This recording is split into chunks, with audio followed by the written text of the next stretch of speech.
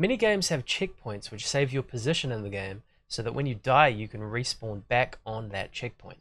This allows you to create games with multiple levels that will then send you back to the last level you saved the checkpoint on. That means you can make your games much more challenging while also being more forgiving depending on the amount of checkpoints you place in your levels.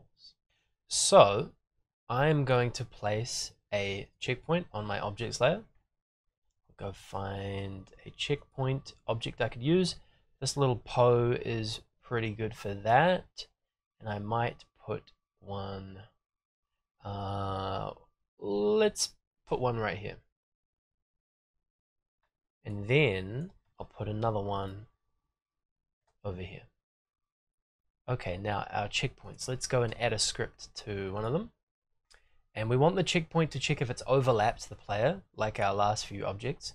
So we will say when created, disable my physics, set physics enabled to false. And then when the level starts, we'll save the player as a variable. Create a variable for player, make that an instance, and that'll be given its value based on the first instance we can find with the player tag. Then we constantly want to check if we're being overlapped by the player. So constantly, if,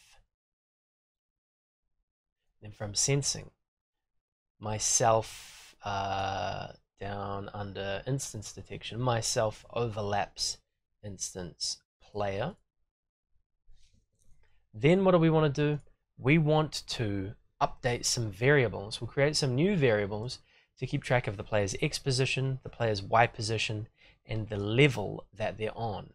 Very important. So we know where they are in the level and we know what level they're on. And so that we can have this information work across levels, we're going to have to use global variables which remember their values across levels. All objects, all levels will be able to access global variables. So there we go, we've got our global variables player selected, that's from global and local.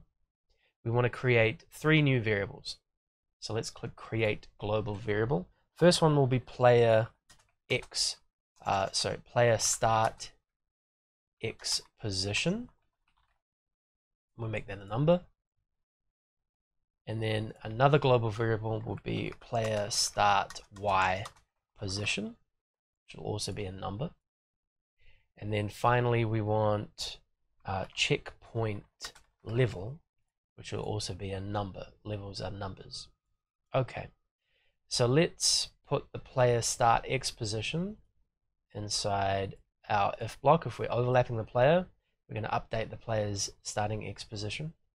Then back from global and local, we'll grab the start Y position and we'll also grab the checkpoint level. Okay, let's set that to the X position of the player when they overlap the checkpoint. So we'll go to transform and grab X position of myself, but we'll make that X position of the player. So when the player overlaps the checkpoint, it'll remember its position as this global variable. Same thing for the Y position, so we can just duplicate that X position block there, make that Y position of the player. And then we want to remember the level that we're on. We can get that from control flow from our go to block. We'll make that go to, uh, we'll, we'll drag next level out of the go to block. We can throw the, the go to block away and we'll change next to current. So that'll give us the current level number.